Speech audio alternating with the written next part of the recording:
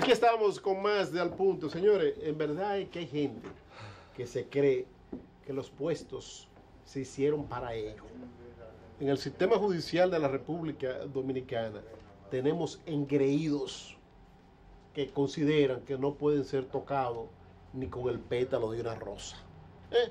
Tenemos el sistema del Ministerio Público eh, imperecedera a una fiscal muy buena, a decir que es mala, muy buena, eh, con aciertos. El caso de Jenny Berenice Reynoso, una mujer con luces, yo diría excelente, excelente Ministerio Público en la principal plaza jurídica del país, que es el Distrito Nacional. Así es. Pero no todo es para siempre. Lógico. Dice una, una canción eh, de uno de los cantantes iberoamericanos más exitosos eh, del pasado siglo, José José, 40 años duró en la escena, que hasta la belleza cansa. Eso sí. Hasta la belleza cansa. A usted lo ponen a comer mañana, tarde y noche el manjar que más le gusta.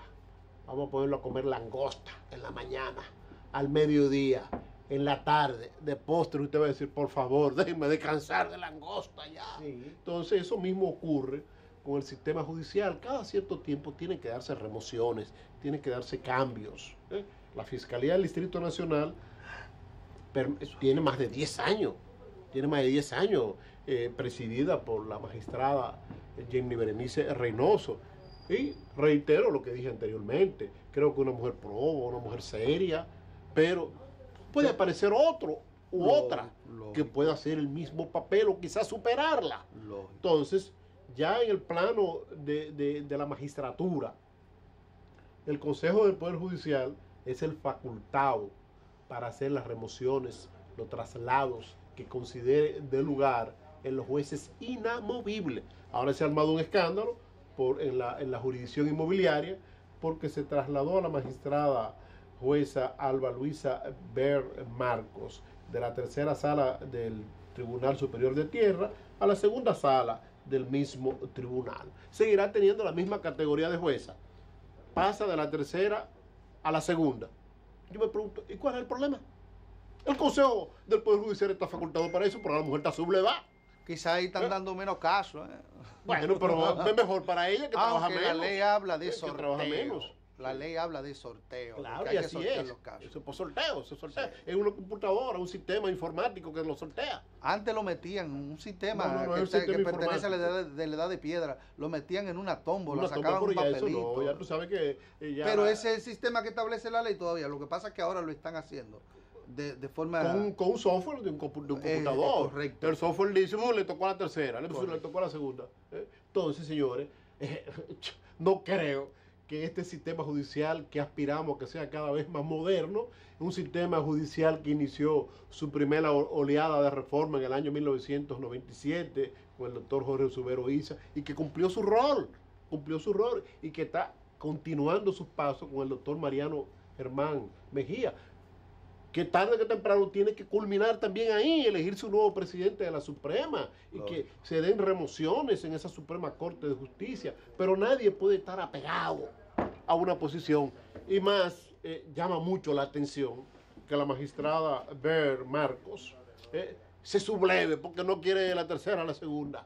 Señores, reitero lo que dije hace un momentito antes de la irrupción de, mi amigo Paulino. Que vivo interrumpiéndole, caramba. Pero es lo mismo, es lo mismo. Si menos trabajo tiene, pues usted va a, cobrar lo mismo porque a los jueces no le pagan por, el rol de audiencia. Los jueces tienen un salario. ¿Eh? Por posición también. Adelante. Miren, con relación a la magistrada Jenny Berenice, Jenny, tu compueblana. Sí, te quiero, mi amiga. Sí, amiga mía también. Te quiero, te aprecio, te tengo todo el respeto y el cariño del mundo que tú no te imaginas. Por la amistad sincera que me ha brindado. Eh, espero conservarla, pero con relación a lo que decía Ramón, tú tienes 10 años ya ahí en ese caso. Más de 10. Tienes más de 10 años. Yo creo que hay que darle la oportunidad a otra persona. Aquí tenemos muchísima gente de carrera de carrera que están preparados.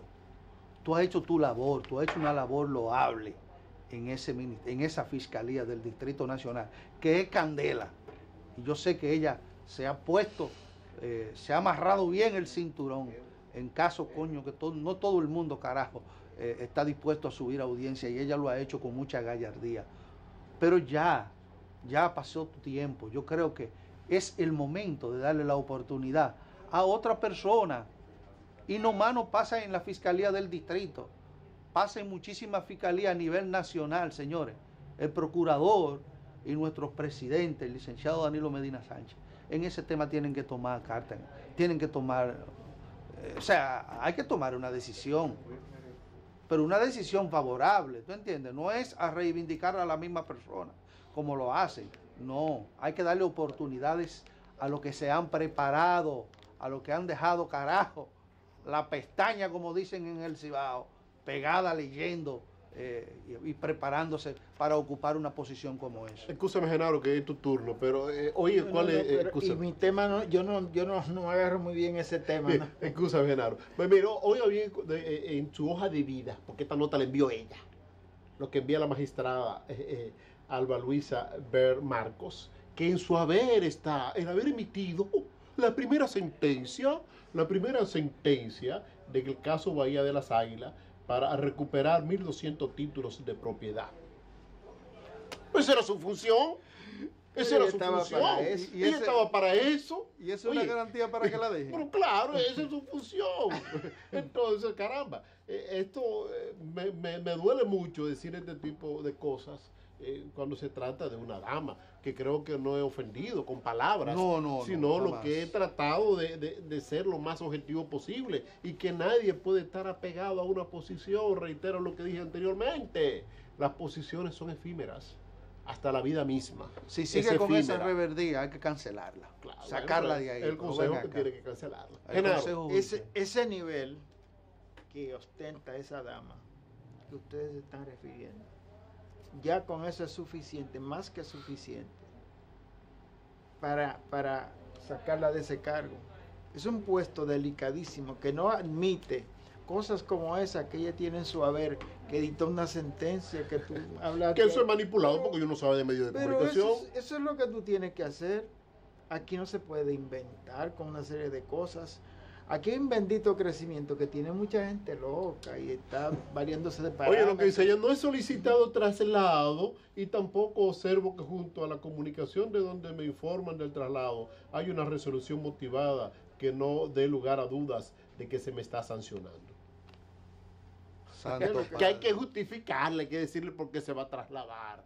Todo el mundo puede ser trasladado cuando las autoridades de arriba así. lo sé, el reglamento del Consejo del Poder Judicial oh, facultan al presidente de la Suprema para hacer ese tipo de cambios, ese tipo de rotaciones. Así es. Tú sabes que yo Lo que no puede hacer, excusa Genaro, es el presidente de la Suprema cancelarla sin justificación, porque los jueces son inamovibles. Ya esa es otra cosa. Esa es otra cosa. No, pero es otra cosa. Esa es otra cosa. Ahora, si mete la pata o mete la mano, ahí sí. Pero tal vez se picoteaba bien ahí o se está picoteando ah, bien. yo, no, quiero especular. Vamos a la pausa comercial y regresamos en breve con más de Al Punto.